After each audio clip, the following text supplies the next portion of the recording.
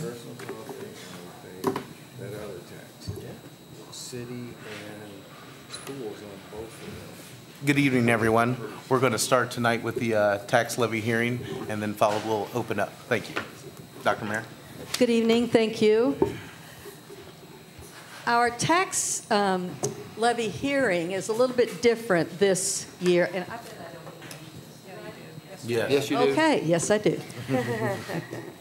Um, Because of the Hancock Amendment, and the Hancock Amendment requires the, um, requires the state to lower our tax rate ceiling because that, the law says that we must remain revenue neutral, meaning we can only take in a certain amount, a certain percentage of revenue over what we took over last year. So what that means then is our district increased by about 17% in our valuation. And I know a lot of you had your property reassessed and are very well aware that um, those, those suffered, well, not suffered, those um, experienced an increase. So because Marshall's tax rate was lowered, then we are not going to be able to set our tax rate at what it usually is. We are required by the state to lower our tax levy to the point where we can only we can only take in a certain amount over what we took uh, in last year. So the rate then is a result of the Hancock Amendment, and it will cause it will cause us to be unable to tax or to substantially raise individuals' taxes in the community. And I know I've had a couple emails from people saying, we're on a fixed income, we can't afford more taxes. Well, you're not going to have more taxes from the school. The school is reducing their tax. So the way it actually works out is that rather than spending $3.12 per hundred of assessed valuation, taxpayers are only going to be paying $2.83 this year. So the amendment then keeps school districts from increasing and, and giving large tax increases to the taxpayers. So if you can look here, you will see this is the comparison of this year's tax year and to last year's. Our total valuation increased rather substantially, in fact, about 17%. And that percentage is too much for the Hancock Amendment not to kick in. However, our real estate increased by almost 29 million. Personal property increased by about 6 million. So the assessed valuation of our community went up, it increased by about $34 million. The tax rate ceiling, however, decreased 29 cents. That 29 cents equals about $600,000. That if, if there was no such thing as the Hancock Amendment, then we would be bringing in 600,000 more. But the Hancock Amendment keeps everything revenue neutral. As you can see then here, we are going to, I'm going to recommend to the board to set the tax rate at what the ceiling is that the state auditor has given us. And the state auditor has given us a ceiling of $2.8316. 2.8316 would be the tax rate that I have to recommend to the board. That will generate almost $6 million in taxes for the school, which actually, once again, it is down it, about a difference of 600,000 from what it would be if the Hancock Amendment had not kicked in. However, we are going to be increasing our revenues from our local taxes by $276,449.20.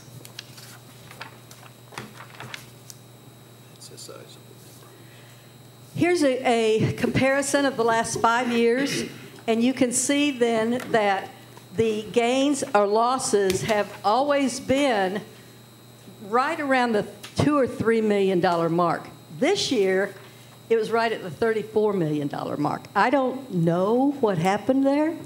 I don't know how it is that our um, valuation went up that much, but that's, that's the case this year. So that is the end of my presentation. Actually, I'll move on to my superintendent's report later, but I do recommend that the board approve the tax levy of 2.8316. After hearing the information from Dr. Mayer, I need to uh, entertain a motion for us to set our tax levy for the upcoming school year. No, sir.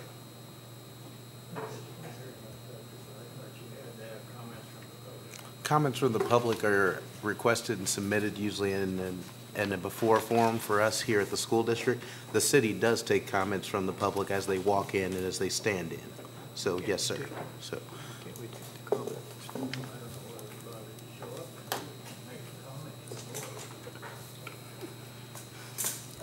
you're, you're welcome to email or talk to us prior, sir, and then you are welcome to come in and speak with us or to speak in front of the, com- the body at that point in time.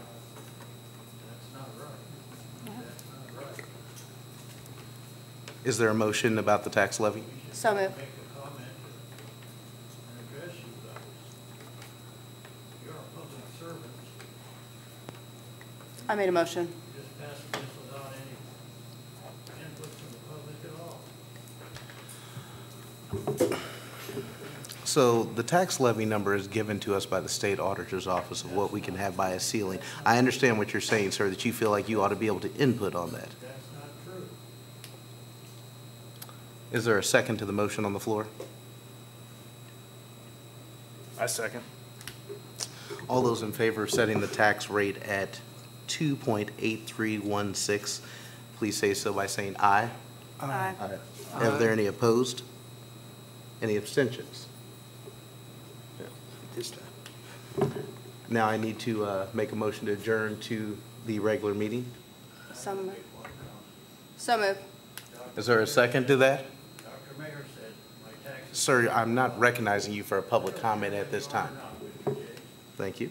He said my taxes would not go I up. would move on, otherwise he's going to keep talking. Four hundred and seven dollars and fifty-two cents with your levy.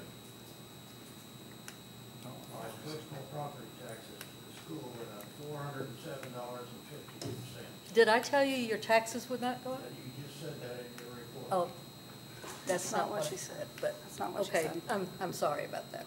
That's Sorry not what about she your said. personal situation.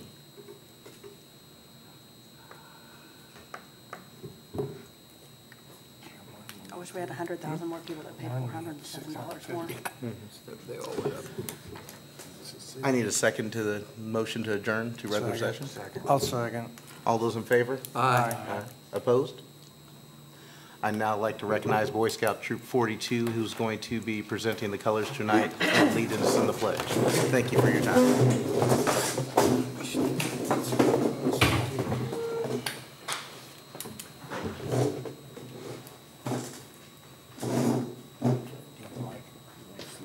Yes. Color guard, advance. Six feet. Call it registered.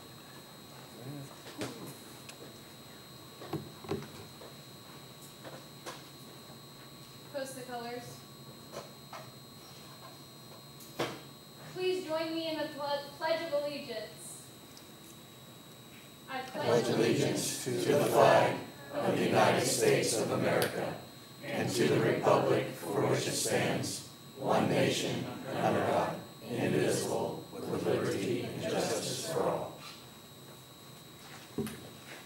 color guard. dismissed. Thank you, color guard. Thank you all. Get along.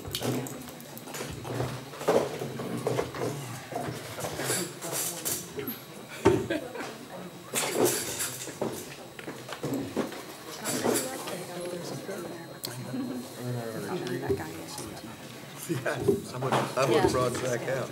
Um, What was that guy's name? I don't know, I don't know who that was. That's, No, that one. No, the guy with the. No, no, no, no, no. I'd like to thank you, uh, Mr. Johnson and the scouts from uh, Group, uh, uh, Troop Yes. 42. Thank you all and have a good Thank you evening. very much. Go about it the right Are those Marshall students? Yes. Uh, Yes, ma'am. They represent our district so well. Tell them thank you. We're very proud of them. All right, moving down the agenda for the evening. I need to look for approval of the minutes from the July 20th meeting, the July 31st retreat, August 17th special board meeting, and August 20th special board meeting um, over the last couple of weeks. These were all included in your packet. Are there any additions or corrections? Make a motion, we accept. Is there a second? Second. All those in favor, please say aye. Aye. Any opposed? Abstentions? Thank you. Um, Next, moving down, looking at the approval for the August bills that totaled $1,154,565.63. I have one question. On what you sent us today, Linda, was that, are those just additions to the bills? Yes. Okay. The, the cracks, uh, resealing Spainhauer parking lot, is that That's this in the end? back here, yeah. Okay. We had a, so that, in that flood, I had a bit of a problem. It wa- tried washing out that box back there. So he, he dug some out, packed some back in, packed some asphalt. He's gonna come back and do some concrete work, uh, before he finishes painting. I got two other bids for that. He was the lowest locally. It didn't cross the fifteen, so I didn't officially bring it in front of the bid. I just had to get that work done, so. Yeah, they did a I great just wanted job. to Make sure it wasn't something. No, it's back here. They did a great job. Are there any more questions? Do we ne- need to make sure we get that in the minutes, what he just said? We will.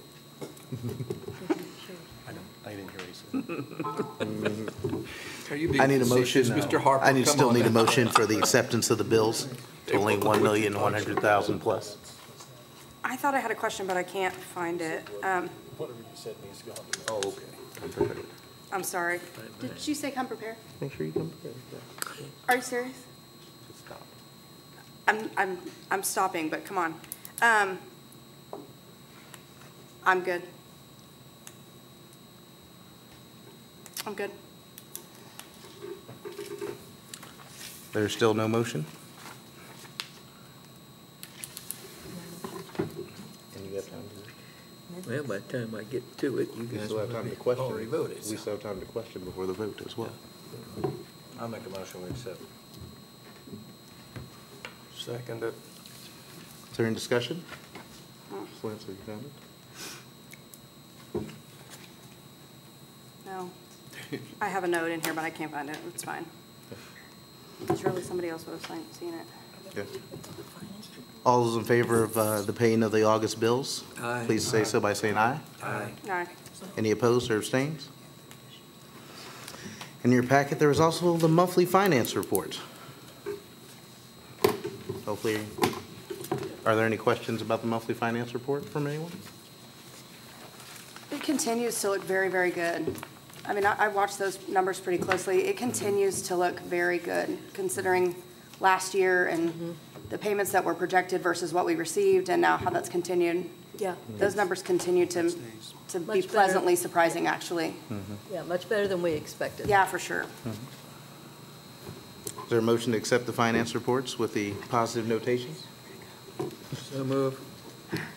Second. Second by Mr. Shepard. All those in favor? Aye. Aye. Aye. Is there any opposed or abstaining? Thank you. Um, Next, I need approval of the annual Secretary of the Board report. That was about uh, 19 to 20 pages of our packet as well. That was a very detailed and lengthy report. It's always a fun read. Thank you. Need a motion to accept that? I'll move that we accept that, the secretary report. Second by Mr. Smith. All those in favor? Aye. Any opposed?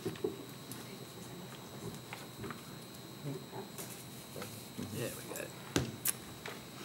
I need a motion then to adopt the agenda for the remainder of the meeting. That includes the reports from the assistant superintendent, superintendent, uh, the special reports that were in your packet, of course. I'm going to be discussing the board retreat briefly, and then uh, the new business action items under number 10. I'm not aware of any other additions. Matt, did you want to put that other one? We did talk about substitute pay, It's on there? and it is on there listed under Part C under new business. I move we adopt adopt the agenda. All those in favor? Aye. Any opposed or abstaining? Dr. Lorenz? Um, Just have some updates for you this month. I, uh, first day of school was hectic and exciting all at the same time. So um, uh, just some updates. The first lift of the asphalt is nearly down on the track. Um, The grass is growing in nicely. Uh, We're working to get bids to our insurance for the lost damage from the floods damage at central office and the culinary. Still working on that, still working with our insurance agent and the culinary and central office. The elevator, boilers, and cameras are installed at Bueker. Just this afternoon, the chiller, the chiller at Bueker, which we have on our list to get updated, but I was hoping I could steal six months to let some of this other stuff get away, but we'll see what tomorrow brings. But the chiller at Bueker's having issues again. I've, it's had issues a number of years in a row. So we're looking at, I'm, uh, we'll be bidding that new chiller later this fall. Once I get the scope of work complete, I'll put that out for bid and get that in front of you. Um, Due to the supply chain issues, um, we've had issues all over with different projects this summer, but the, if I hadn't told you, the walk-in cooler freezers for here at Spainhauer and at MHS uh, will not be arriving until late October. There was a foam panel issue, they couldn't get them, but everything else is ready as soon as those panels get in, I guess. Uh, The HVAC system at Eastwood's about 50% complete. We left the window units in that, in that building for this very reason, because we weren't sure, and he had some parts issues. Um, They got most of the, the, what I would say, the dirty work, got most of the holes punched through, and most of the unit, of the units are set. Um, They should be able to come back now nights and weekends, or if we have breaks, and pick them off a room at a time. We won't be bringing those window units out until all the systems are up and functional, so. um, We had some we had some technical difficulty uh, today with the new, with the transportation uh, software uh, TransFinder that we put in, um, that uh, it, uh, it runs in conjunction with our SIS program, and there was some kinks that we didn't anticipate uh, as far as alternate addresses for pickups, which caused a ripple across the whole system. So um, we hope to have that worked out in the next couple of many students were negatively impacted on that? Do you have it A rough? Bunch, Huh? a bunch. There was quite a few.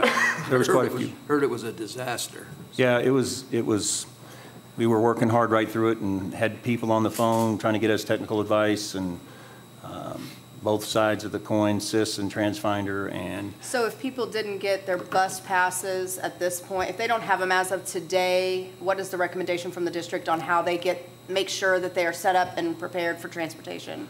So Dr. Mayer sent an email out to Okay. ask everyone to, i- if there's any way possible, to uh, drop off and pick up your students for the next few days.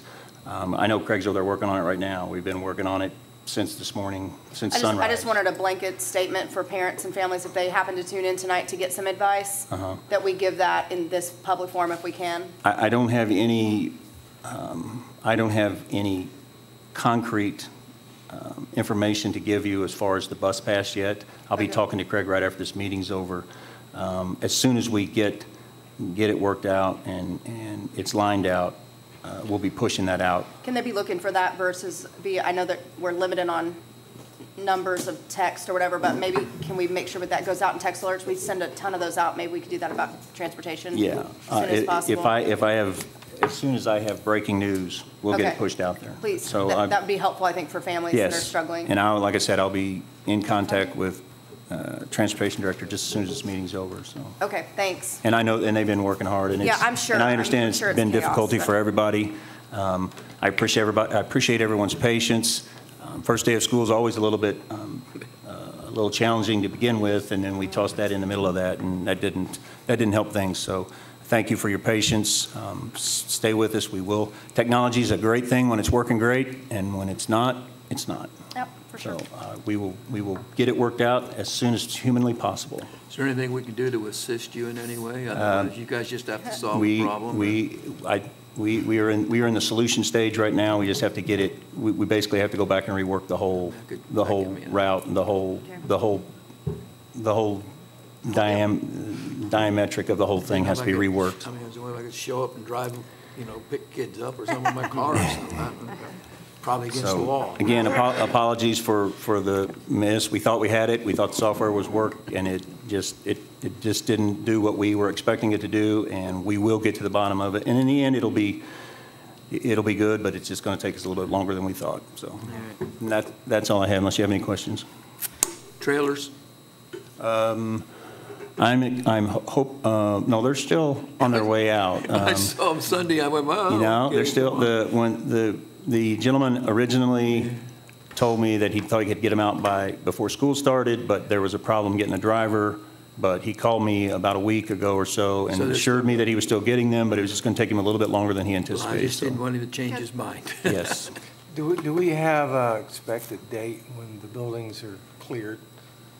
Um, I don't know the expected date. I would anticipate that they'll be working right in through winter and spring. Uh, I, I'm hopeful that by next summer, uh, they're down. They, they've, they went a long way, but they have a lot of, there's a lot of volume yet to, to move. They, they did come up here to this end to get it farther away from our, our student drop-off, trying to work their way back towards the back. So, um, they've got all the, all this down below down, and, um, they've started hauling rock to, to fill. DNR's let them using that to fill back here in this, down in this big valley, so that helps, cuts out on the transportation of the rock pieces. Of course, the metal and everything else has to be shipped off-site, but um, Nice to see 'em they, down. they, um, th- it's moving along at a pretty good pace, so Well, I. I'd hope- like to thank the city council and everyone involved in that for getting on it.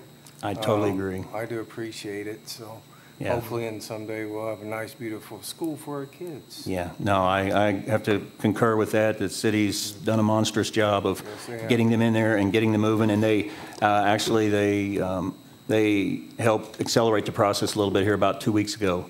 Um, We were moving along at a, a bit of a clip, but then now we're moving on at a better clip, so. Is there any impact with sound, with all the rubble and the kids' classrooms on that end? of the Uh, Not that? I've, when I'm here, I don't notice it. I mean, I'm not here all the time, all day, but uh, both of these buildings are well insulated and good thick brick walls, so.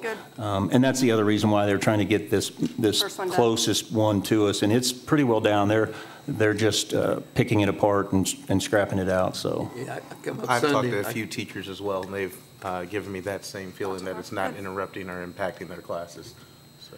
Yeah, I I came up Sunday, was watching it, and of course I had my truck and drove down and about never got turned around down at the end there because they were doing the blacktop down there, so. And, I blocked off. and a lot of times, nights and weekends, it's, it's quite a viewer's point down the road here, I everybody. would like a nicer, wider road someday in the future. Yeah. Any other questions for me? Thank you. Thank you, Dr. T. Dr. Mayer? Thank you.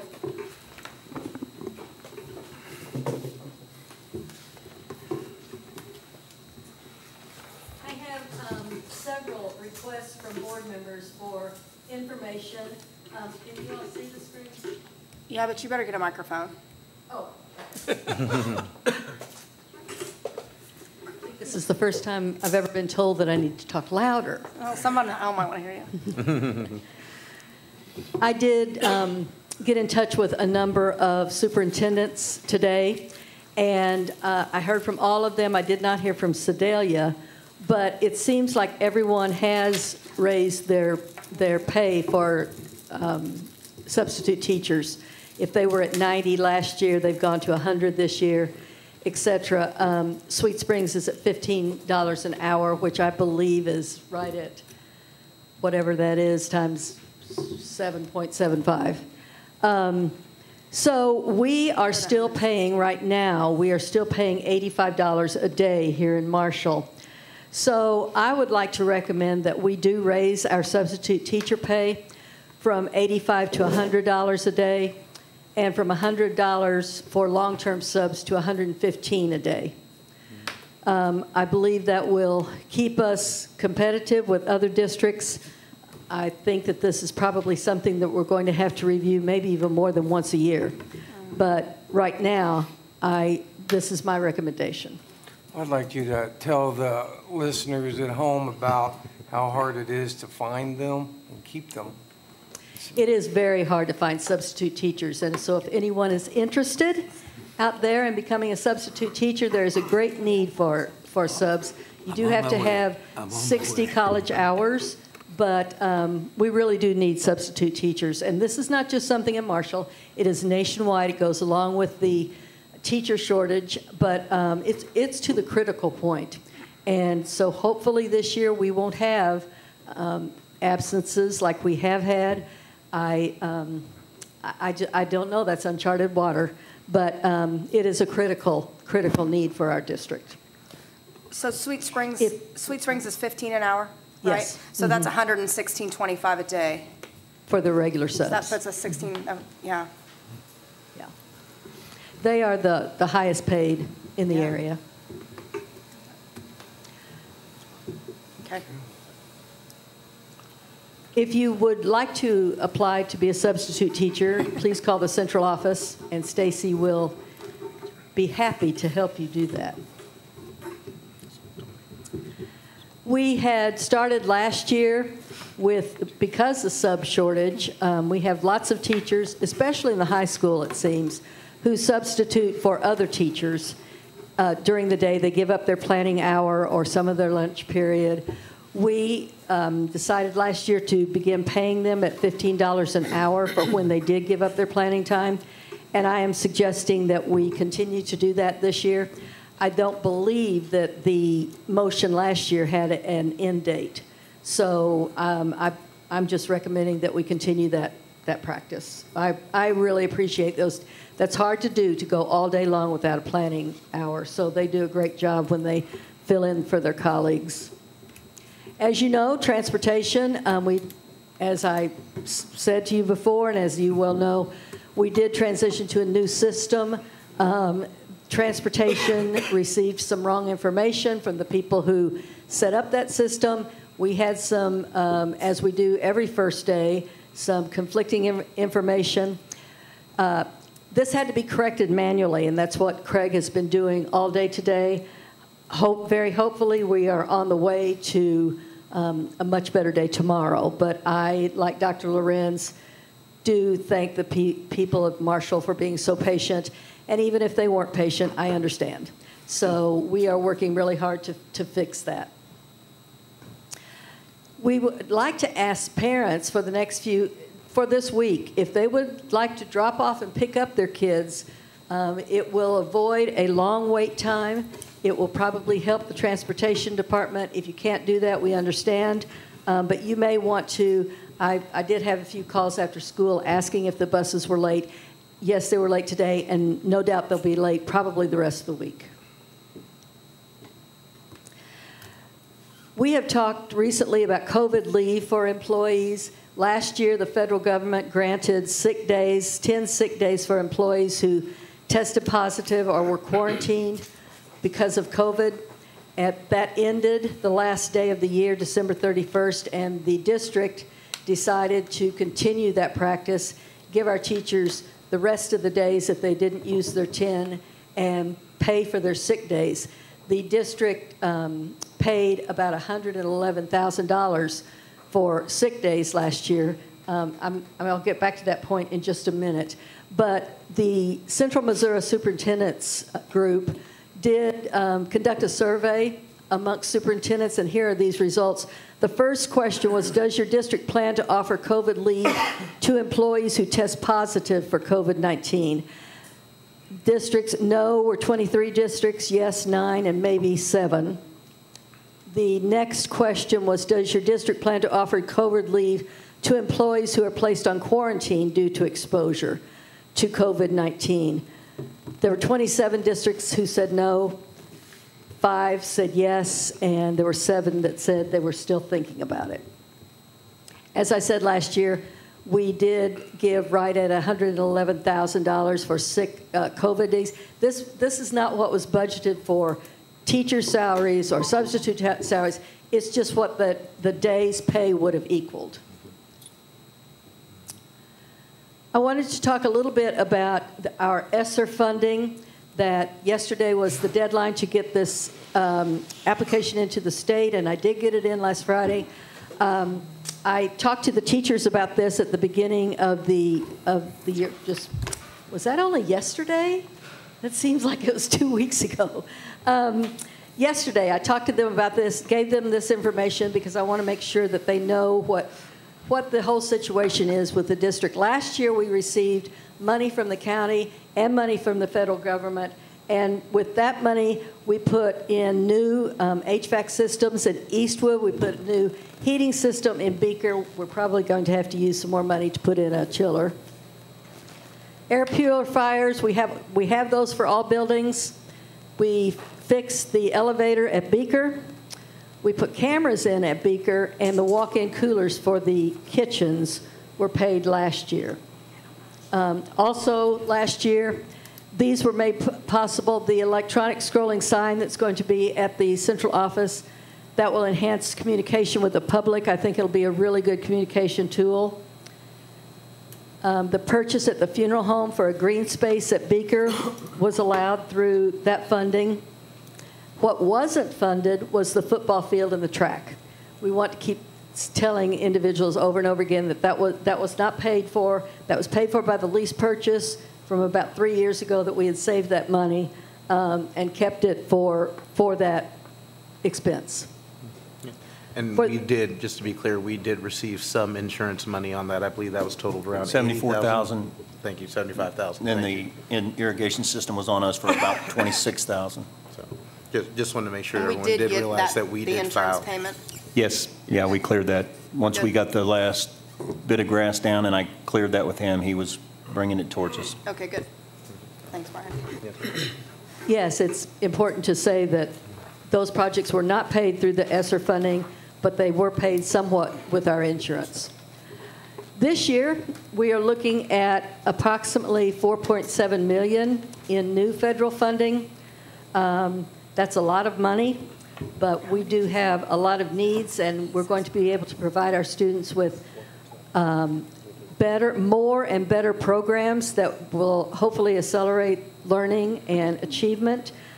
We are looking at, um, of course, we had, let me back up. I wanted to tell you that we do have our plan on the website, and it is um, the plan that we had to, to um, present to DESE, and they had to approve for us to be able to receive these funds. It is, um, you can find it under Safe Return to School, one of the three tabs at the bottom, and it's 27 pages. So there's an executive uh, summary if you don't want to read all the 27 pages. That um, plan is going to be updated probably weekly. There's some information in there that I need to update right now, but it is available. The approximate budget, the one that I turned into DESE, and this is approximate, has about $3 million for teacher salaries, and that is to deliver student services before and after school in the summer, possibly on Saturdays. It, it is all the programs that are outside of the regular day. We are going to plan to give our teachers a, um, about $50 an hour, which is double what we have given them in the past. Um, we feel that these programs will really help our kids and really help the community, and so we wanted to use bu- the bulk of that to um, be able to recoup that learning loss. We need buses, and we're going to buy some, and that this will help with social distancing also. We're going to buy two pre-K buses, two homeschool uh, homeschool routes, and one for the activity bus. $120, 120,000. Now this is over three years, by the way. Um, we are, uh, this will pay for a full-time translator. We desperately need that in the district. That person would be located at Northwest with our ELL, our English as a Second Language program. Um, I, I think this will be a, a fabulous addition to, to the district. A full-time career counselor, the high school um, administration are very excited about how they are feeling towards their new offerings for our high school kids. They are focusing on careers and the future, which I think is a, a, a tremendous step. But that would be about 180,000 over three years for a career counselor. Of course, if we are funding this with soft money, the soft money ends in three years. So we have to be really honest and tell our potential employees, we plan to pay you for three years. We hope we will pay you after that, but we can never guarantee anything when it comes to soft money. Student support programs and materials, um, $600,000. Uh, Programs are very expensive. We're going to try to um, support our students who speak English as a second language much more, our students who live in poverty, and um, those, those programs are very expensive, but I'm really excited for the chance to offer them. We will continue to support professional development for our teachers and our administrators. The teachers through the PDC um, program through the State Department are going to receive about $100,000 this year. Over the next three years, I'd like to think about about $100,000 for um, the PLC focus specifically, at, which is the professional learning communities for our teachers, and administrator professional growth also. I'd like to look into adult and student wellness programs on Saturdays, and um, I, that's going to take a little bit of um, money to convince teachers, I think, to be uh, to lead a, lead that program on a Saturday. So there's 75,000. That's 25,000 for each year. Also, then, um, as I said, the after school Saturday, summer, the alternative programs, the teachers who work in those, I'm planning on paying them $50 an hour. Transportation will be provided for the non regularly set scheduled learning experiences, tutoring, the activities, the services. And whenever possible, we are going to blend our program with other community programs. For example, we have a meeting this Friday with the YMCA to talk to them about their after school programs and ours. We'd love to be able to blend those two programs. So that is my report for this evening. Are there questions? I have a concern. Yes. Uh, When the ESSER funds run out, you, you, you alluded to it, so you're well aware of it. It just, I don't know that investing in salaries and salaries and salaries that are going to run out on a short term is good fiscal responsibility. Can we not put that money into facilities and other kinds of things? Would it not be better spent rather than, we've got to That, that is a good point. And we have to spend 20% of our funds to recapture the learning loss. Yeah. But um, we can use more than, more than that, more than the salaries. And like I said, this, this is an approximate, but I had thought about the facilities and how we could use maybe two of that 3 million to work on improving our facilities. We absolutely could do that, and that's something I think that uh, the board and the district administration definitely need to talk about. $2 million over three years would go a long way in our facilities. Yeah, I- It just, at some point in time, of course, I won't be here when it happens, but then three years, you're going to have a salary of this person, and you're either going to pick it up or dismiss them, you're gonna- and you're going to probably Correct. pick it up, and then another one and another one. Right. Uh, Those are the things that concern me on it. Not that I- there's anything wrong with them, but th- it concerns me that the next board, three years down the road, is going to have to fund these salary positions.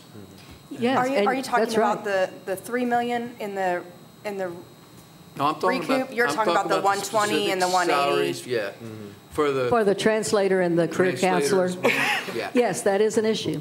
And it, it, it's a concern rather than a one-time expenditure on, uh, uh, chiller, you know, so. and I guess for me, Harry, I appreciate, I appreciate that thought. At the same time, I think if, if we've got kids now, and I think we're going to hear about it in- coming up here pretty quick, but if we've got kids that are having issue being on track and um, excelling where we're at right now, this is where we're at today. And so this is, if, if this is where we're at and this is the concern we have, and we need to reach those kids over the next three years to get them graduating or, or get him to the next step, then that's where we need to start. I spend it, don't have any maybe. problem with that. I don't, I don't know, that would be After- my position After too. school, summer school, I mean, Yeah. I used to teach summer school all the time. That was some of the. I had to go. Some I of the didn't best, teach it. some of the best things, I didn't have unfortunately, but some of the best things I ever, I ever did was during the summer Yeah, I just, I think that's, that's my perspective on it, is what do we need right now today to get us two, three years from now? Yeah, And- And I agree with you, like, 1.5 million a year over the next three years is going to be a vacuum when you try to figure out how Yeah. to fill that, Yeah. that fourth year whenever we get there. But as uh, Dr. Mayer was saying, and we know we've got a slide that's happened, we've got a loss that's happened, and to kind of recover that, we're going to have to beef things up for the next couple of years. None of this is set directly in stone, but these are just some points and some possibilities that we can have, some of which we even talked about at the retreat. I guarantee if we have a full-time translator for three years, we're not going to want to give the, or I, Right, would- Right. if I was still on the board, I would not want to be given that position up. right. We're, we're, we're going to find that 40,000 probably in three years some kind of way, yes. Because that's a need right now. It's a need in our right? community, That's been a yes. need.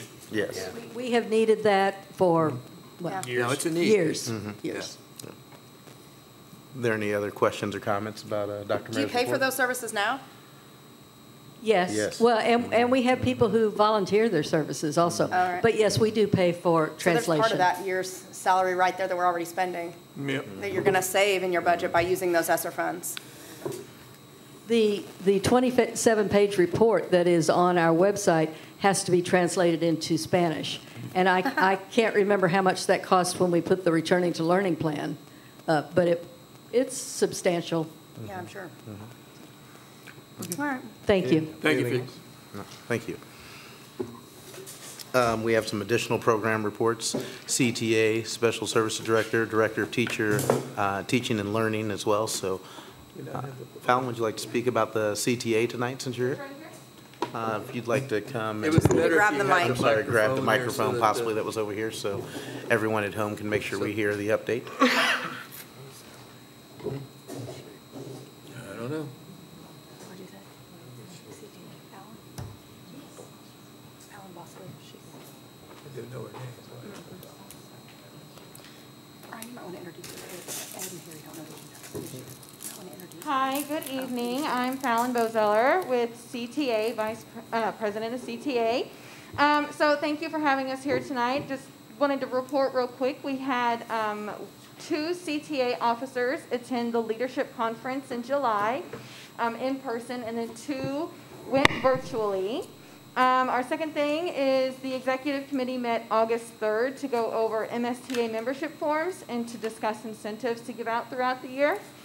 Um, we've seen a very successful initial membership drive so far this year, so we're pretty optimistic about our membership numbers. CTA gave out goodie bags to all of our new staff to the district at the welcome back meeting as well as today and throughout this week, um, and we have some other goodies for them as well. And then also, we set the schedule for the executive committee and general, general meetings for the year, so we've been pretty busy this month. Uh, and that's basically it, so thank you for your time, let me know if you have any questions. Thank you, Fallon. And for those that didn't hear at home, she's the Vice President of the CTA, and the President of the CTA is Ms. Tanya Johnson, I believe? Tanya Johnson? Thank you. Thank you. Hmm. Next, uh, Special Services Director, did anyone have any questions about the report uh, that Grace had submitted? Not going to have you come up and talk about it. Uh, We we call on you quite often, so just wanted to give CTA a chance this evening. Thank you, Thorough Grace. as usual. Uh, Did anyone have any questions about the Director of Teaching and Learning report that was submitted as well by Ms. Jacoby? I didn't. No? Very thorough report. Thank you. Um, Moving on to old business. So on July 31st, the Board of Education met for a retreat. Of course, with everyone's schedules, we had toyed with dates for about the last two months trying to get together to uh, meet, of course, before the pr- uh, principals came back mid-August to make sure that we had some direction to give them for looking at um, our strategic plan or where the board was looking at going in line with our board goals. Um, So. uh, Matt, Br- Brian has the copies, if that's what you're looking for. Yeah, he gave me some. Okay, I sorry, don't know what sorry. to do with it. I passed out the homework. I got mine, Uh, Brian. On that date, uh, Mr. Carroll was present, Ms. Lance, uh, Matt, and myself. uh, the other board members weren't able to attend. Uh, We had some input from uh, them that were given at the time as well, and we had a rather good discussion that day. We met one for them was on vacation somewhere, wasn't he? yes. So, we, uh, Matt was with the baseball team, I believe, at the time, so. Matt was there. Oh, no, Matt was at the board retreat. Brad was at the board retreat, sorry. Brad was at was the- on on vacation, so can't keep track of where everybody goes. I'm the so. old one, Brian, hang on there. May- Maybe I'm having memory go, memory loss, so. Um, At the uh, retreat, of course, we met from uh, uh, about nine till about 3:30, 4 o'clock in the afternoon or so, and then I think uh, some of us even talked a little bit longer in uh, some smaller groups after that, of course. Not a quorum, just a small group of two, so. Um, So our goal one is that Marshall Public Schools will provide and maintain a safe and supportive environment that contributes to academic success, confidence, and well-being of students. Uh, We were looking at visualization of a, a new Spainhauer campus. Of course, hopefully in the future, uh, we will look over here and we will actually see grass growing or dirt or not actually the buildings and the rubble that we're seeing now. So, like um, looking in the future, we've talked about possibly needing to have, of course, new buildings. We all know that our buildings are dated in the, uh, um, our newest building is 44 years old and the other ones go downhill from there to almost 100 years old. So we know that new construction needs to happen here in the district. Um, We talked at um, possibly putting a new elementary uh, building across from Spainhauer. Of course, these are things that are going to be, needed to bring to the voters and have voter support. These can't be done without a tax levy, these can't be done without community support. Um, And possibly if we're looking at an elementary building, we talked about a, a two through five possibility of a building. So that would be grades two, three, four, and five. So you would start on this side of the road, and then you would move to that side of the road. Um, For those who are concerned about parking, traffic, and all of those other things that have came up today, and we've received calls and messages and seen about, um, the city is planning to widen our roads and help us with building new roads here. But with all the equipment moving out of the bricks, the things that are be going on here with the deconstruction going down or the demolition, then building those roads was not feasible prior or firsthand, but after we get everything down and we have flat surfaces, to kind of change the layout of the campus as it is out here, to make it more uh, streamlined to support for the district instead of being left over or um, remnants of what it used to be and used for in the past, so.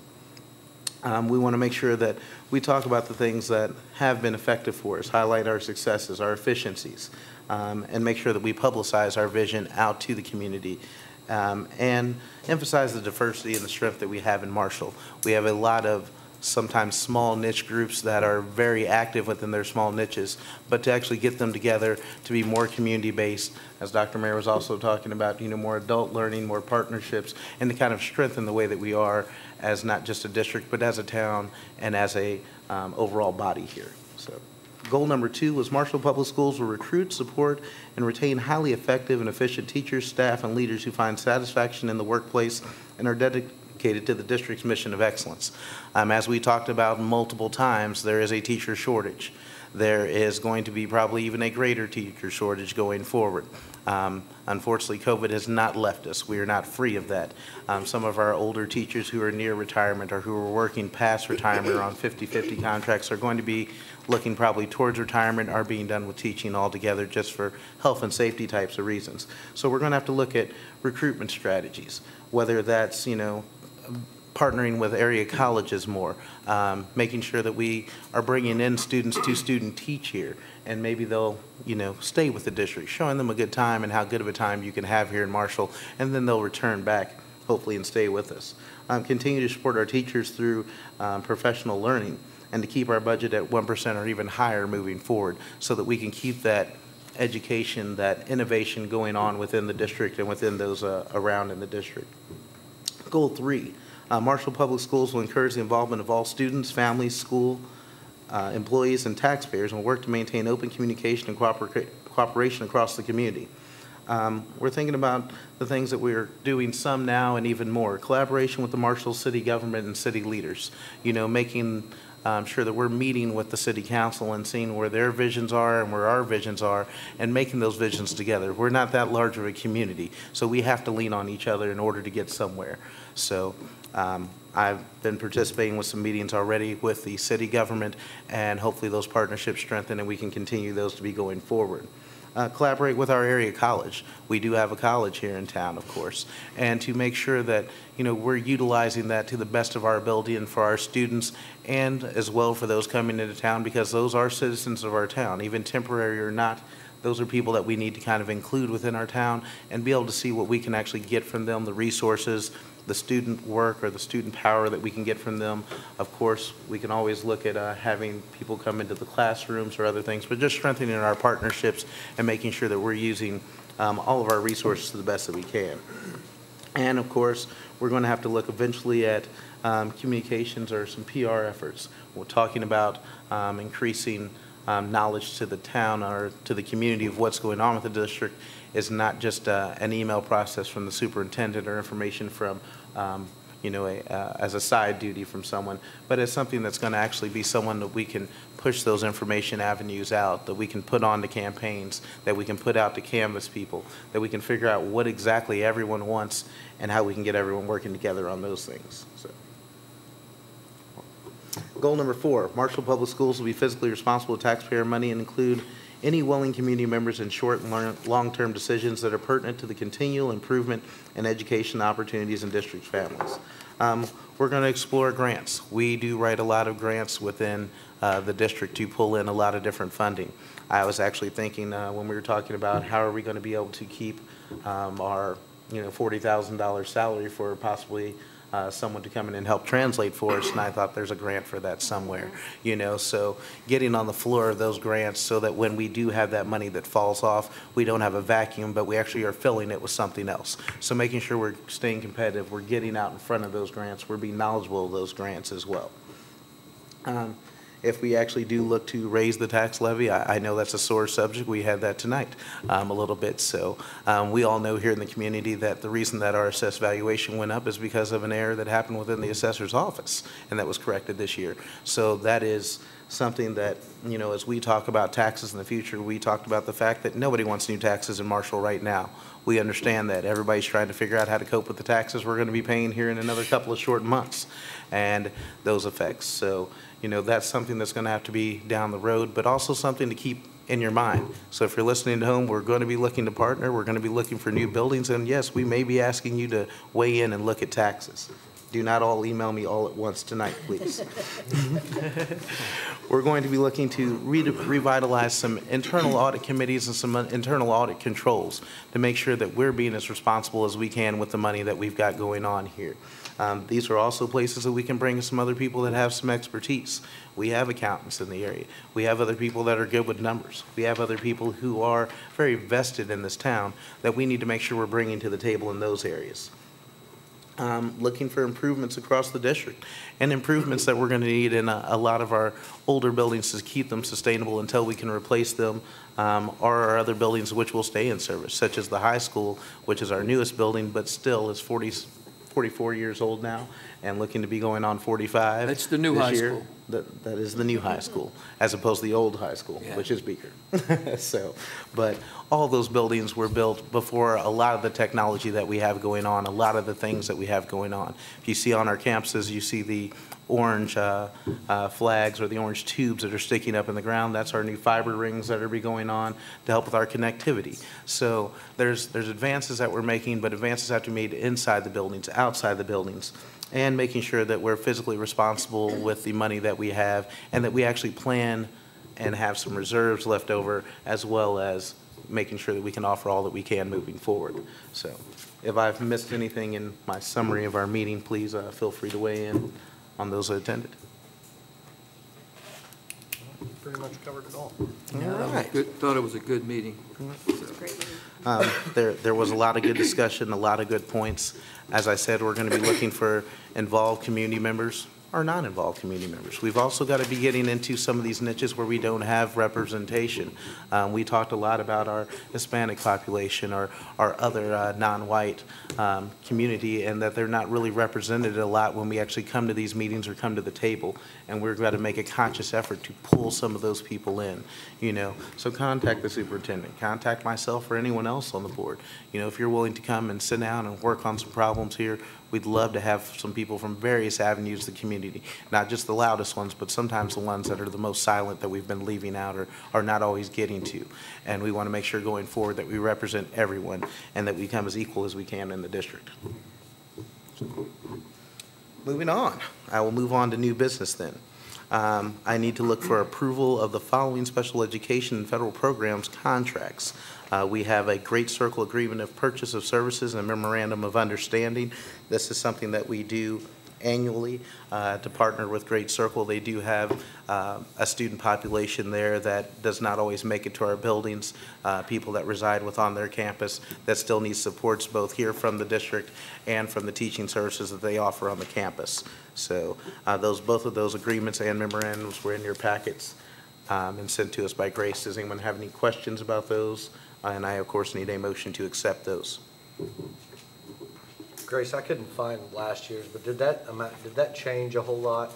The The hundred and amount? fifty-five dollars a I day. I was gonna say it was, it was Yeah. minimal per day if there was any change at all, wasn't it? Right, and so what we actually pay Great Circle, which are explained in here, is, um, local tax effort from the resident districts, Mhm.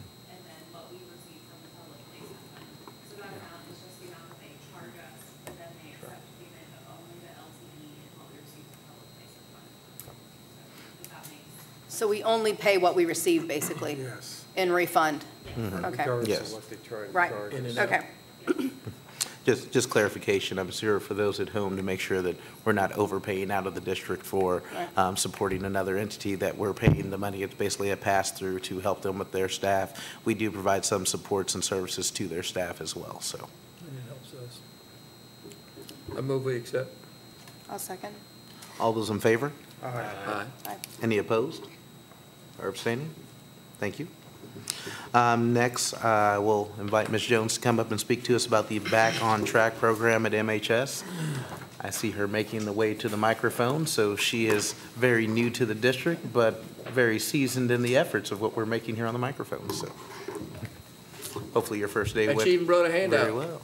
I did. I can get the check box on This is- the uh, Yeah, evaluation. You need to give us form. time to review if you bring a packet this thing. No, What? I'm just kidding. I'm No. serious. I'm serious, This- Ed. I didn't this- hand one out This one was in time. our packet, and Got we maybe actually have one. talked about this, and we've seen uh, uh, the credit numbers, so uh, just teasing a little bit with Ms. Jones on her first night out, so. That's good, thank you. Thanks. All right, so I did give you a packet um, because I have shared with you the, um, the first page, which is the letter, and then as well as the second page, which is some of the numbers.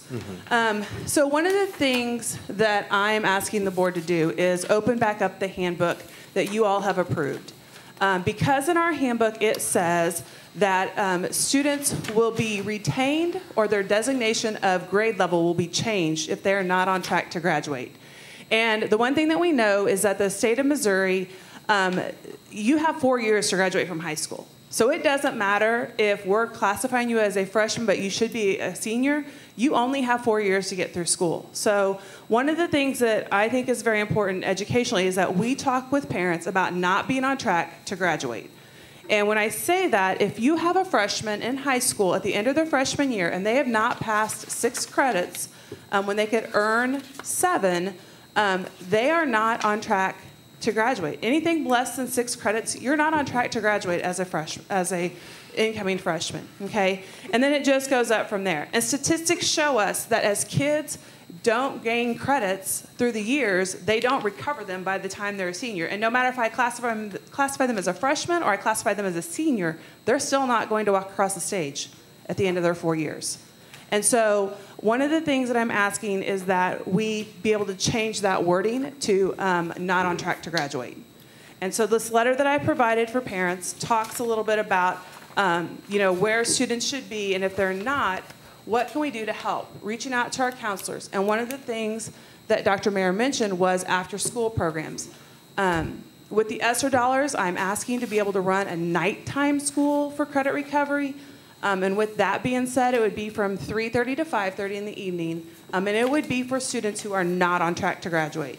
Um, so they could have, they would be at school all day long, unfortunately, and then they would come to school afterwards to make up those credits. Um, and that would be through our Acellus program with teachers running that. And so trying to get our kids back. We would still offer summer school, But as you see the numbers that I provided, which are the same numbers that I provided you in the summer, um, we're talking about a quarter of each class is behind, sophomores, juniors, and seniors. These would be online rather than face-to-face? They would be online rather than face-to-face. And one of the reasons for that is um, in the secondary level, it's very hard to get every course to be able to be taught um, through a sort of through a certified teacher. So you know, teaching four English courses in that time. So it's easier to have teachers that can provide an online. The online platform is there. They're there for help. They're there to help talk through it and work with kids. And so that's why we would choose the online platform. This would, No, this would be. No, like a, definitely- like a taking the class online with a proctor, for lack of a better term. It would be. But someone that actually could give you educational reinforcement or even a If- tutor within the proctoring room, If, for if lack done better right, term. that teacher would be in direct contact with that student constantly. Most definitely, and they would be in my building. They would not be at home. Like they would be in seat. Um, and so I've had a couple teachers because after we talked about, um, or after the welcome back, and Dr. Mayer talked about that, I kind of explained what we were like what we were looking for at Marshall High School, and told teachers that they were interested to please contact me. And I've already had a couple of my core teachers say, "Hey, I would be interested in doing that at night with students." And so, um, you know, they would be there to help students. And we're looking at core content. Electives usually are easy, pretty easy to make up, but core content is what we would be mainly focusing on. Okay? Would there be A-plus hours or anything available for some students? Right, I know that people ask that, um, that would be a possibility to do some, have some students help with tutoring during that time, which would allow them for A-plus hours, for NHS hours, and that kind of thing. Um, in my previous world, I have a lot, we have allowed students, our higher level students to come in and do that tutoring, um, to help out too. So it's just an extra set of hands that they would like. Mhm, Most definitely. Okay. Um, also in this packet, I know that um, I've kind of, we've changed some things, and I know some of you have gotten phone calls and maybe some emails, and some, and some of you have children at the school, so you probably got some text messages today, I'm sure. Um, but one of the things that I shared in the packet um, is the bell schedule, just so you have it, so you know what our current bell schedule looks like at Marshall High School. Sorry. Um, the cell phone policy would be the next page. The cell phone policy did not change. As much as our students would like to think it did, it really did not change. Um, the policy is that they're not to be out during academic time, okay? They should not be out. Um, I know some of the questions have been asked to me today um, from parents, have qu- asked questions about um, some teachers asking them to put them in calculator pockets.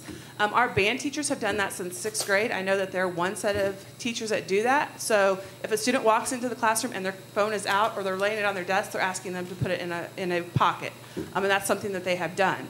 I've said to students multiple times today, if your phone is put up, we wouldn't be asking you to get it out. We're not asking you to get it out to put it up in that pocket. So if it's up when you walk in and we don't have to worry about that, you're not getting asked for it, okay? So the question, the, you know, the statement is put them up, turn them on vibrate so you can't hear them.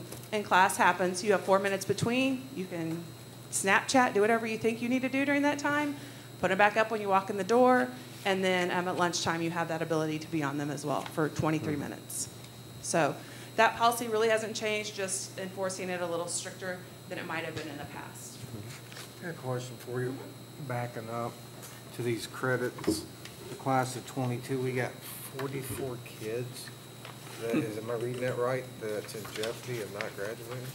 Yes, sir, you're reading that correct. So So, if we got this going, I mean, like soon, soon, um, what do you think that number will be?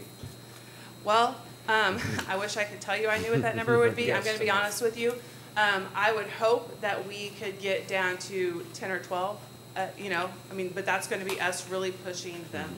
And what happens is, and I wish I could say this was a problem just here, but it's not. It's across the nation. Um, you know, I walked, had, we had the same issue. The online learning had, was not our friend in education um, at all. And so when I say that, like the distance learning without being, seeing kids face to face. Well, I've been on this board five years, and it's the first time I remember seeing any numbers like that. Right, it is drastic. Um, it is drastic. And so that is the thing right now. So if a senior doesn't have 19 credits, that means that um, they have not passed every class. I mean, they haven't passed seven credits up until this point. And so you can figure that by the time they become a senior, if they haven't done that statistically, that um, they're probably not going to do it. Credits are, that you, you think if a kid gets in there and does what he, What's the maximum credit you think they could get from this night school that you're talking about? Right. So if we ran night school from 3:30 to 5:30, let's say that we started, I'm just going to say Sep- September 20th, okay? That gives us time to get everything set up. We start September 20th. That gives us um, five months, you know, two hours a night, four nights a week, so you're eight hours a week extra on top of that. Um, If students really get in there and get them knocked out, they could get, as long as they're, I mean, they could pass their classes, so they could get all their credits during the school day and maybe four or five more if they really, do- if they really work. But they're going to have to work, and that's the thing.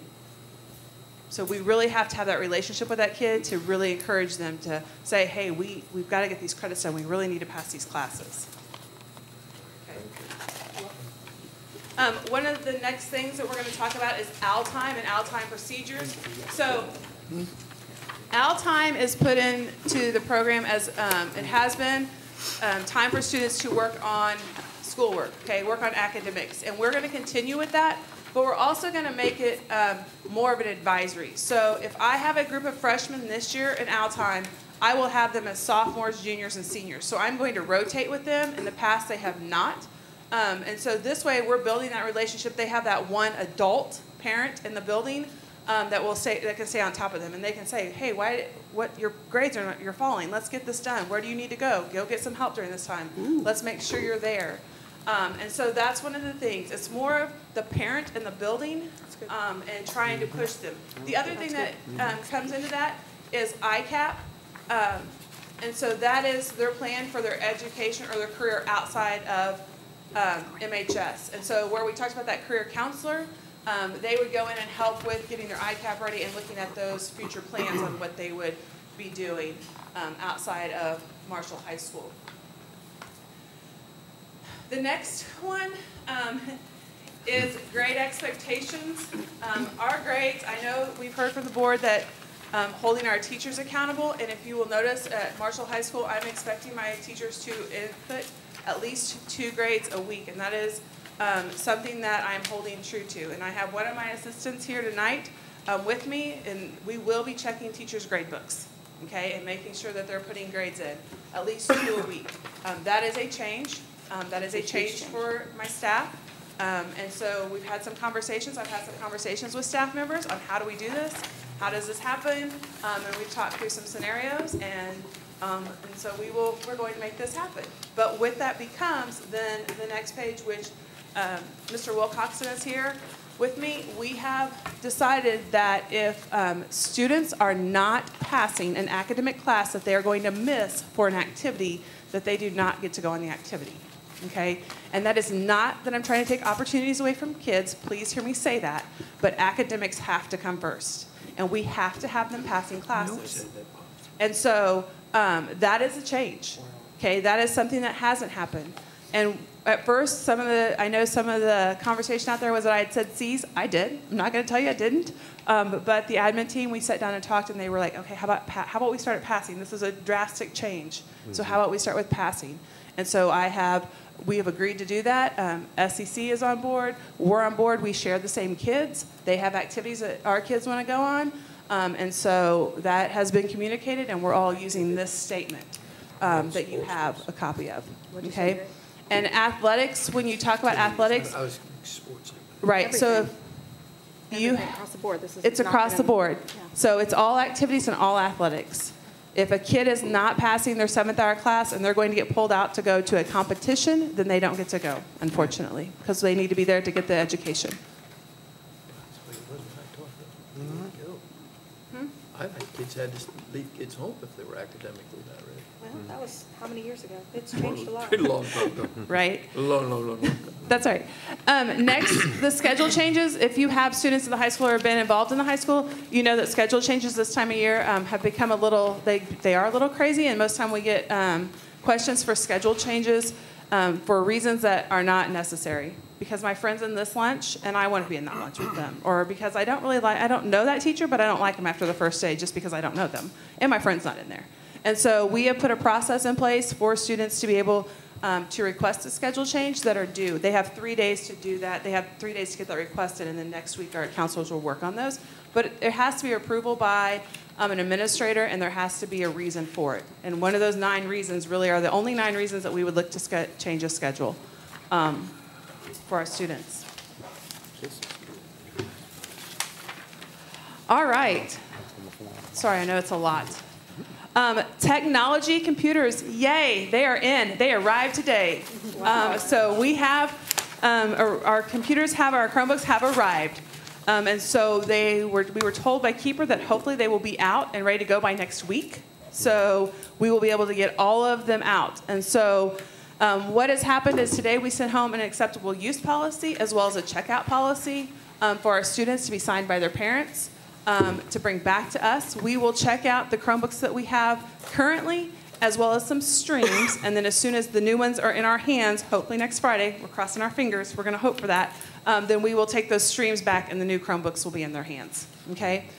One of the things that um, we've heard today that I've heard is about using your own personal device. I'm going to tell you the reason um, I am opposed to that, and it's an educational and security reason. If I bring in my personal device, Harry, I'm going to use you. Is that okay? Yes, ma'am. Okay. If Harry brings in his own personal device and he signs into my guest Wi-Fi, um, I can't see what Harry is doing. He could go in and get on something as a student that he's not supposed to be on. I can call um, Keeper and the tech guys and say, "Hey, can you come? Can you see what he's on?" But unless we know what he signed in as, Yeah. it takes them multiple hours to get that done. If he's on a school device, he has to sign in as his pers- his normal Google um, sign in for school. And so then I it, then it will send me an email quickly that says Harry is on something he is not supposed to. I can go to his algebra one class and be like, Harry, what are you on? I thought Okay. we purchased a, I Sure thought we purchased something last year that, that sent us a report of that kind of stuff. Dr. T? Yes, Securly um, takes, handles our mobile devices. Um, So there's a couple issues there. Um, We have it at a, it is set at a basic level securely, even on the guest Wi-Fi. Um, But there, there are other issues uh, as, ranging from virus protection. Uh, So we segment that guest portion off, and we don't monitor that Okay. on a regular basis without, like she said, doing some extra, someone's going to spend some Yeah. extra time doing some work into it, so. Right. If I'm I'm just signed in, clarifying because I thought that I remembered re- he- doing something with right, and Securly is the one I was talking about that I can see. If he's on as him as his school, then I can see I'm it. watching it, Chief. If he's right, um, if he's on as a guest, then I have to search down to who that the guest name might be because it might not be his name. It might be a parent's name or something that's logged into that computer. So then I have to search that and figure out who that is. I like that. Okay, so that's the technology piece. Can I- And yes, sir. No, I'm just thinking, I'd like to be able to do that in some of the classes I had today. Right, right. Just Sitting up back there with their Right. laptops, I don't have what, what they were doing. Right. And last but not least, um, ThrillShare, if you are a parent of one of our students at MHS, you probably got a phone call from me this evening. I know, and if you didn't, um, we'll try to figure that out. But ThrillShare Share is a product that we have purchased this year that goes along with our website that we can send out a voicemail. I can send out a voice message to parents. And like today, I talked about the policies we went through, what our new procedure was for um, dropping your students off and such like that. And it comes from our SIS system. And whatever number we have in there as the main number, that's who we get. That's who they get the phone call. So um, you got to hear my voice probably about 5:30, 5:45. Am I right? Yeah. That was about right. Yeah, about right. Um, and then I followed it up with an email too. So if you didn't get my voicemail, you should have gotten my email. You would have got my email too. We need to figure that out then. I don't need it. She's good. So I don't even have grandkids. I'm looking for the board um, to approve that we open the MHS um, student handbook back up and we make some of these updates. I am able to send out this letter to our parents um, ASAP so that we can start working that process um, so that we can move forward. Was What's, that- go ahead. I'm sorry, is that the August 25th letter that's on the top, not the August 6th draft that you had Right, given to no, us that prior? is, I've changed it to, yeah, so, okay. yes. And it I- probably would be August 27th for Friday. Right, right, yeah. that's fine. I'm just making sure that it's this letter that I saw Yes, today, not the that letter is. that we talked about No. two weeks ago. Yes. Christy, I guess my, or Mrs. Jones, Miss Jones, Christy, sorry. Um, I guess my question to you would be, knowing that when information goes out, sometimes, and this certainly would cause a parent or a community to rumble and be concerned. And right now, you know, you talked about a 3:30 to 5:30 school, but tomorrow when this letter goes home, you aren't going to have that set up. So what's your plan? What's your plan for the immediate, when somebody says, okay, my kid will do this, and So currently, we have, the plan is that they can take Acellus classes by themselves at home virtually. Um, it's Outside of their school day? Outside of their school day, Okay. yes. That is the current policy in the handbook now, is that they can Okay. take Acellus classes outside of the school day on their own. Um, Moving it into the building with supervision, we know we'll get better results. Um, And so, right now, currently, that's what would happen, is they could start them on their own outside of the school day. Okay. And Acellus is the program, just to be clear, that we've already paid for. So these aren't, this is not an extra expense to families to get these recovery credits, correct? That's correct. Even though it's above and beyond their extra, sc- it's above and beyond our school day. It would be no Just expense to clarifying. the family. It's Acellus is what we're using um, as one of our distance learning platforms for the district already, and it's also what they've used in the, that's what they use during summer school and such. So yes, we have Yeah, it. We have purchased those licenses through the end of this calendar year. Next year, we would have to go back in and look and see what our needs were and then Right. look to extend that. Yes. So, so if I'm reading class of 2023, 58 of those students, they can't miss a single credit for the next two years. Yes, sir, you are very correct. Okay. I make a motion, we accept the Back on Track I program. second. for- Just, just to, just to give discussion, uh, I think this is a, a very aggressive change for us in the district, and you're gonna have some bumps going into it. And I think it will be, in the long term, a great thing. I just think that you're gonna have a little work ahead. I know parents have been telling me since we started, why is the grade book never updated? I Guarantee you, parents will be ecstatic to be able to go in there and find out what the progress really is. I can find out where my child is, or if he's fallen off track maybe a little bit, and help with that before I actually get the grade at the end of semester, when grades were, had to be in by the deadline, and I find out that there's been five missing assignments and then that for those kind of things. So there's kind of that shell shock that happens with a lot of parents at the end of the quarter, and hopefully this will reduce that and, and help them keep their students on track as well, so. Well, and I think this is a good, I think this is a good um, steward for the rest of the district um, when it comes to, to those things, Brian, espe- for sure. Well, Um, overall, you gotta look, that's hundred and sixty-six kids that we are failing. Yeah, it's hundred and sixty-six kids out of roughly probably eight fifty. Yeah, Yeah. at- we're a little over 800. I mean, we, we So you're got to talking about a act very high that number, you're quick. talking about twelve percent or And something. that, and that, That after used to school, the that big could be motivator tailored in if, summer if a school. kid does have a Pass to job. If they, graduate. If they couldn't do four days a week, they could do every other day maybe, or two. If they needed to, yes, we would work with students. I mean, I would expect them to be there at least two, just because knowing that we need, we need our, you know, presence with them to make sure that they're And, doing. and they there need. is gonna have to be some thought put into, some of these students are actually going to be students who are athletes or people who are in after-school practices or things, which are probably gonna take up that three thirty to five thirty time, but, um, we're getting creative. I'm sure you'll get even more creative, so. Uh, we've had a motion and a second. Um, all those in favor of accepting the, uh, Back on Track program as Ms. Jones presented it, please say aye. Aye. Any opposed, abstain? Thank you, Ms. Jones. Thank you all. Um, Lastly, we're going to be moving down to uh, substitute teacher pay. Uh, Dr. Mayer had given us some slides and some information on that in the beginning, um, and where we had fallen off the the track. Uh, Mr. Smith had asked us to put this back on the agenda this evening because we had talked about it last year. We had granted some kind of one-year extensions and raises, and we thought in order to be competitive, uh, that he wanted to revisit that and to make sure that we were staying competitive and bringing um, the people in our community here and that they wouldn't be driving to Slater or Sweet Springs um, for some extra minimal incentives, so. With that said, um, she said that our base rate now is eighty-five dollars a day. I believe you proposed a hundred and a hundred and twenty-five for long-term 100 subs? 115. 100 and 115, excuse me, thank you for the correction. I'm now open to look for additional numbers or discussions here at this point.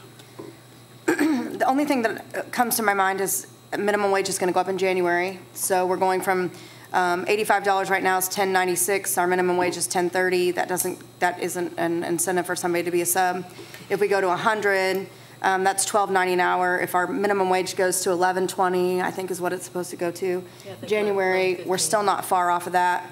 Um, So does that mean that we're going to be revisiting this again come January? Because we get in this influx and then all of a sudden Linda doesn't have anybody again. So, um, you know, sometimes in management and hiring, uh, sometimes you, you jump up just to, to try and get your people there and lock them in. And Pay so for what you get. I, I'm not sure that, I- And then when you look at Sweet Springs, who, yes, I understand, they're at 116, um, 116.25 is what I figured on their $15 an hour, which is the salary that someone can go and work at McDonald's, which is one block away from our high school. So um, I still don't know that 1290 is enough. Um, Granted, I appreciate our budget. I mean, I I understand that we have, we have a budget to maintain. How many subs do we have right now, this year? About 20. And last year, I think we had, what, 16? We started with like 16-ish, didn't we? Mm-hmm. Oh, a little more, okay. Mm-hmm. So, so how many do you think, how many, li- truly, how many people do we need to add to that sub pool? Like, I, I have no idea. I think we said ten 30? I mean, to have 50 people in a sub pool, is that awesome? 100? Like, what is the, thirty, wasn't it? Didn't- Wasn't that? the Hell- number? I, I think we had talked about a magic number of like thirty to forty at one Thirty to time. forty? Yeah. Yeah, we're running, we're probably in need of mm-hmm. twenty-five to thirty at mm-hmm. least a day. a day? Most like, that's, that's, br- that's rough. I, around I there. believe that on the sub list, Forty? not necessarily per day, but on the sub list, I believe we were shooting for 50. Well, that would get us better Trying than, to that would get us 50 10 better than because that. it's- So- It's about fifty So fifty I. I make a motion that we move to hundred and fifteen dollars a day for subs and hundred and twenty-five dollars a day for our long-term subs. Second. Spending money again. I think that's a good deal. Got to have people, we got to have people that, good people that want the job. Can you tell me the benefit of a long-term sub? Because I'm just, I'm not. I'll, I'll I'll go. Well, the, really, the benefit is the, the consistency for the kids. Okay. But we have, we have, if teachers go out on maternity leave or whatever, then, then we have the same teacher in the front of the same class every day. Do we have, do we have, um, I guess my question would be right now, do we have any, um, long-term subs right now? Yes. And so those people, if we change this today, their pay changes immediately, or how does that work? Actually, if they are considered, if they're going to be a sub for the entire year, they're considered They're a already salaried. teacher and they're on teacher salary. Yeah. Okay. For thir- thirty-seven thousand, right? That's for a teacher, a full-time teacher. But a long-term sub, Sub. Well, well, but the, the subs that are going to teach at the high school, that are going, they have a sub certificate, but they're going to be in the teaching spots because they're working on their certification. Maybe I'll have to get you that information. Dawn? They're not considered long-term subs, They're considered teachers, right? Right. but long-term subs, I know we have three right now. okay, so that's my question, like, they, this, this, this change is effective immediately, is what I'm asking, in your budget? It, it will be retroactive. We, we can Back to retroact today? it back to the Yeah. first day of school. Welcome, we're still here. Okay, okay, I'm just asking, because I don't know the Yeah. procedure. Yes, so. And, and what Don was saying is currently, just for you at home, we already have three long-term subs within the district on the first day of school. So um, this is something that's going to be going on with us. So currently, we have a motion on the floor at 115 for uh, a regular day and 125 for the long-term sub. That has been moved and seconded. And is there any additional discussion? Call the question. All those in favor? Aye. Any opposed or Boom, That's a abstaining? biggie. It's good work. Thank you. I need a motion now to uh, move towards uh, So moved. closing open session. So moved. Second. All those in favor? Aye. Aye. Aye. All right. Thank you all. Have a good evening.